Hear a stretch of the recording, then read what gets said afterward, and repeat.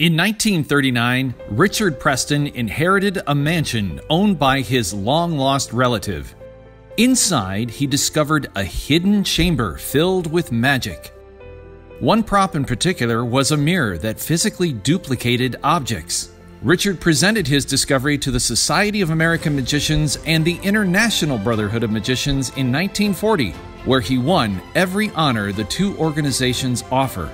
When World War II broke, he served as a pilot and covert agent where he used his magic against the Nazis.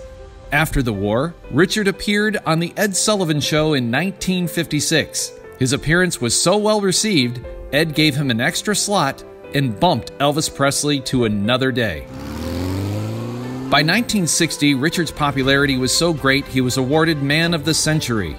He was immortalized in cement at Grauman's Chinese Theater in early 1962 and was a featured guest at JFK's birthday party in Madison Square Gardens.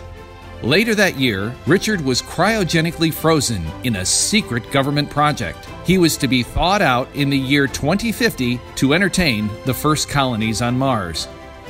Due to current world circumstances, the government recently voted in secret to reanimate Mr. Preston in July.